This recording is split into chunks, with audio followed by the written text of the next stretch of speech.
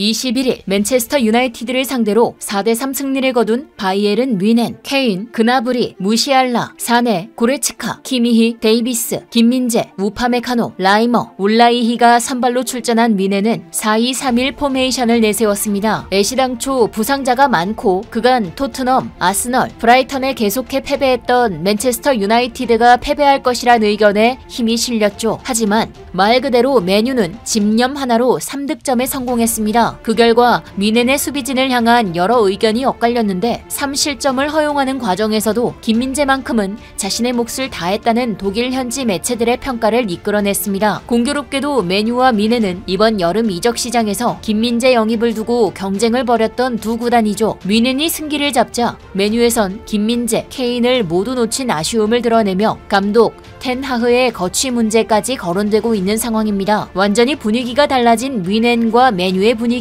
그리고 이 두 구단이 눈여겨봤던 김민재의 하이라이트 장면들 함께 보실까요? 이번 맨유전에서 뮌헨은 투헬 감독 없이 경기를 진행했습니다. 투헬이 지난 UCL 8강 맨시티전에서 받은 경고로 인해 출전이 금지됐기 때문이죠. 졸트 로우와 앤서니 배리 코치가 지휘봉을 잡은 가운데 전반 4분 맨유가 먼저 득점을 시도했습니다. 에릭센은 직접 슈팅으로 골문을 노렸지만 뮌헨은 측면을 활용해 반격을 시작했죠. 레쉬포드가 또 한 번 득점 기회를 노렸는데 실패했고 뮌헨의 사네가 케인과 패스를 주고받다가 왼발로 감아 득점에 성공했습니다. 그리고 무시알라가 맨유 측면을 휘젓다 공을 이어받은 그나브리가 맨유의 골망을 흔들었습니다. 2대 0의 상황에서 전반전이 마무리되었고 맨유의 골키퍼 오나나는 좌절한 듯한 모습이었죠. 후반전이 시작되자마자 레쉬포드에게 공을 받은 회이룬이 왼발로 슈팅을 시도했죠. 회이룬의 슈팅은 김민재를 살짝 맞고 굴절돼 골로 연결됐습니다. 실점 직후 뮌헨은 곧바로 위협적인 장면을 만들었습니다. 우파메카노의 헤더가 에릭센의 팔에 맞아 페널티킥이 선언됐고 케인은 기대를 저버리지 않고 득점에 성공했죠. 3대1로 격차가 벌어졌음에도 뮌헨은 계속해 맨유를 압박했습니다. 후반 43분 카세미루가 득점에 성공하며 1점 차로 따라붙었으나 추가 시간 뮌헨은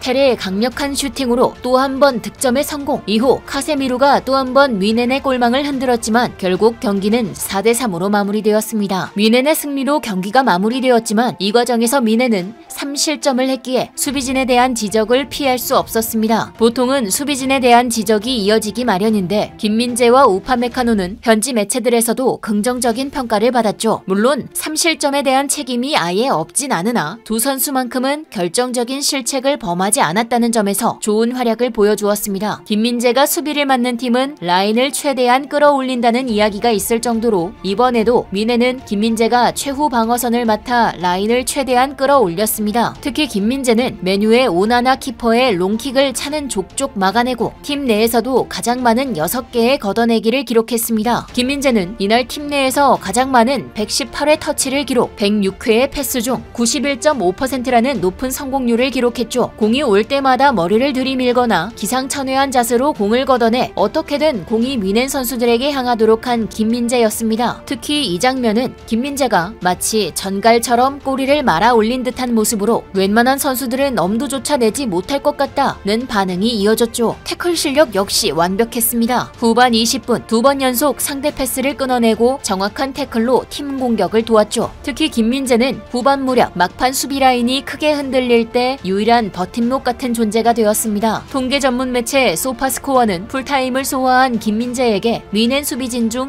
가장 높은 평점인 6.8점을 부여하며 긍정적으로 평가했습니다. 김민재는 최근 레버쿠젠전에서도 118회 볼터치, 패스 101회로 양팀 최다를 기록하며 평점 7.4점을 받아 수비수 중 가장 높은 평점을 받았습니다. 선발 출전할 때마다 풀타임을 소화하면서 매번 이렇게 좋은 경기 기록을 내니 독일 현지에서 반응이 터져 나올 수밖에 없었죠. 예리한 전진 패스 그리고 안정적인 대인마크 능력을 보여준 김민재의 수비 능력에는 이렇다 지적할 문제가 없었습니다. 진짜 문제는 오히려 키퍼의 개인 기량이라는 의견이 지배적이죠. 마누엘 노이어의 부상으로 스벤 울라이히가 선발 출전했는데 막아야 하는 슛을 막지 못하고 킥 능력도 부족해 가장 탄탄해야 할 최후방에서 불안한 모습을 자주 보였습니다. 아무리 김민재와 우파메카노가 날고 기더라도 키퍼가 실점을 막지 못하면 의미가 없으니 말이죠. 또 바이에른 뮌헨의 오른쪽 사이드백 쪽에서도 균열이 자꾸 생기고 있습니다. 기존 중앙 미드필더로 뛰던 콘라트 라이머가 라이트백으로 출전했는데 그리 좋지 않은 선택이었다는 사실이 이날 맨유전에서도 여실히 드러났죠. 수비 라인에서 문제가 있긴 했지만 승리를 거머쥔 뮌헨과 달리 사력을 다하고도 또다시 패배한 맨유는 분위기가 좋지 않습니다. 뮌헨의 케인과 김민재는 맨유에서도 눈여겨보고 있었던 영입 대상이었습니다. 여름 이적 시장이 열리기 전부터 두 선수 영입을 추진했지만 맨유의 구단 매각 문제가 예상보다 훨씬 지체되면서 선수 영입 협상에 차질이 생겼죠. 결국 김민재와 케인은 독일 분데스리가 챔피언 바이에른 뮌헨과 이적 협상을 벌인 것. 그 이후로도 맨유는 점 찍어두었던 김민재를 놓치자 새 센터백 수혈에 골머리를 앓아야 했습니다. 맨유는 맥과이어를 웨스트햄에 팔고 그 돈으로 뮌헨의 벤자맹 파바르를 영입하려 했지만 맥과이어가 웨스트햄 이적 시 깎이는 연봉에 대한 보상금을 요구하며 잔류를 택했고 결국 파바르는 인터밀란 행을 택했습니다. 김민재가 최근 발롱도르 후보에까지 오르면서 맨유는 후회의 눈물을 쏟을 수밖에 없었죠. 2022년 여름 맨유의 지휘봉을 잡은 텐하흐 감독에게 벌써부터 압박이 들어가고 있다고 합니다. 제이든 산초는 텐하흐 감독에 반기를 들었고 안토니는 폭행 혐의로 팀을 이탈했죠. 그 와중에 팀의 주축을 이루는 선수들이 대거 부상으로 이탈했습니다. 급기야 라커룸에서까지 분열이 발생했습니다. 맨유가 브라이턴에 패한 뒤 선수 4명이 라커룸에서 분노했다는 보도가 있었는데 주장 브루노 페르난데스가 스콧 맥토미니와 맞섰고 센터백 라인 리산드로 마르티네스와 빅토르 린델레프가 충돌했다는 후문이 들려왔죠. 이를 이미 인지한 듯 투헬 감독은 맨유 주변엔 항상 잡음이 많다.